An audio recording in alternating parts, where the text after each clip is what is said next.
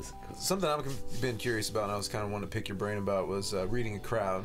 Yeah. You know what? What do you do when you walk into a place? What do you What do you check in? What do you when you start looking at a crowd? What are you looking for when you get up there and you're looking at the crowd while you're doing your joke? Shoes.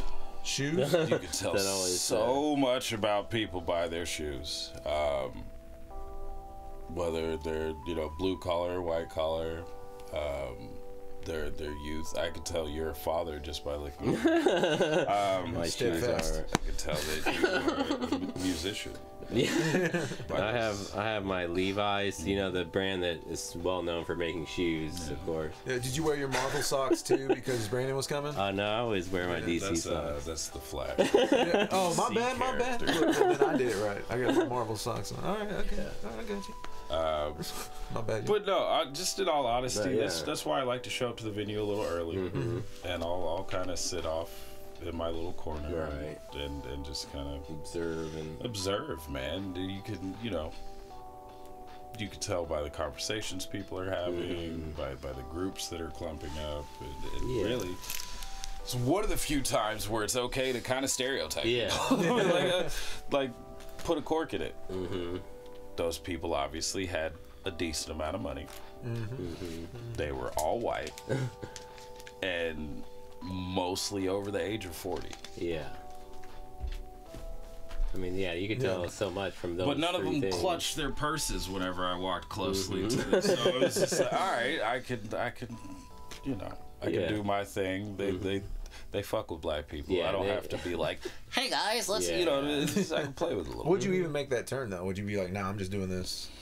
Would you? Would Probably, I would probably Yeah. still just do my own thing. Yeah, I mean, I, I'd, I'd hold back though. Yeah. Like, like you know what I mean? I, I made that joke about how I saw those white people and I was trying to figure out how to cut the N word out of all of my jokes. It mm-hmm. uh, Yeah, probably wasn't necessary. They probably say it too. Again, stereotype. yeah, Accuracy is, is key. But no, man, it's just you just really have to be observational. You have to know people to a certain extent, Yeah. which is difficult for a lot of us um, yeah. inverted people. But Right. If you yeah, if you don't having been out to meet a lot of people, I think that's probably one of the key things that probably for comedians that don't think about it, it's like try to meet as many people as you can. Yeah. Just to get to know them better. I mean, all of all kinds of people, different races and cultures and stuff too. And it, if you're observing some of these mm-hmm. conversations before a comedy show, Yeah. you'd be surprised how many of these folks are already out there in the crowd joking around. Yeah. Yeah. Like they're already- already in a jovial mood. They're mm-hmm. there for comedy. They're there for the ha-has and the Trying funny. fun, a yeah. lot of times you can tell their exact type of humor just by listening to their conversations Yeah. pre-show. You know what I Yeah. mean? That's You'd be uh, a so the.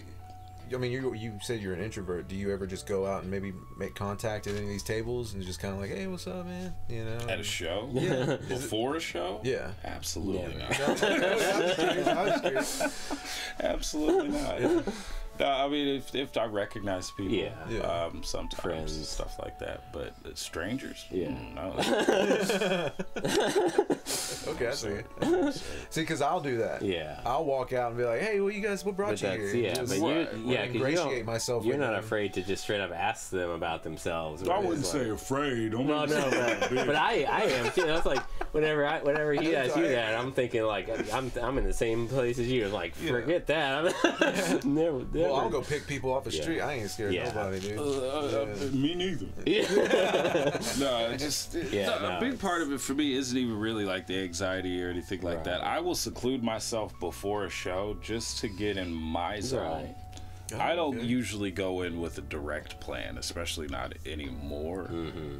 But sitting there and having a full on conversation with somebody Right. could just take me completely out of my zone, out of my bag, out of anything I might Mm-hmm. Yeah. be thinking about. Because you would start thinking about whatever your, the conversation is with that, and not even you know, and that whatever that is is not have anything to do with this moment. I'm Exactly. sure. Really? so And, it's, yeah, it's a good- comics especially like Yeah. other comics if you've ever Yeah. seen me before a show and try to come and have a conversation with me and i seem standoffish Mm-hmm. Yeah. it's because i don't want to talk to you Yeah.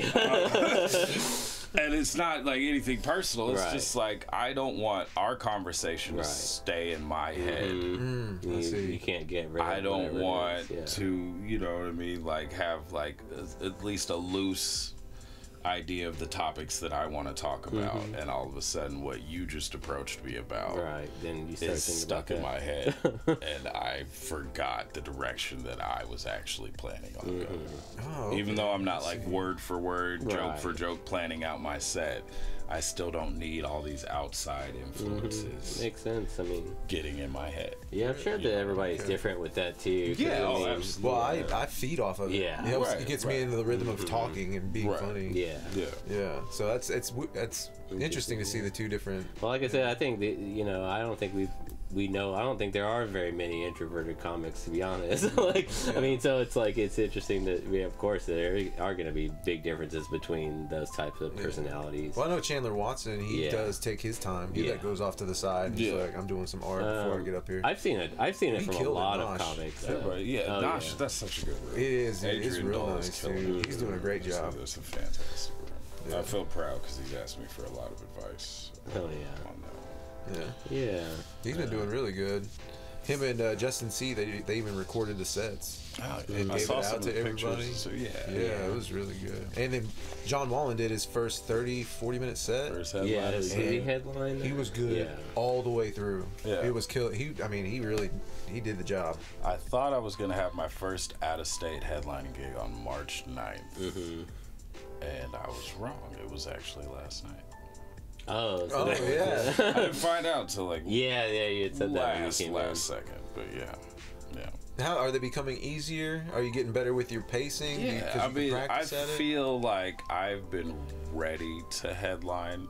So that, for a little bit. and that's like a 30 minutes usually for headliners. or- Usually closer to like 40, 40, plus. yeah. 40, That's what you did at- 40 to an hour. You did the Cork one, right? 40 yeah. minutes. Yeah, and 45. that was, Yeah. I had more.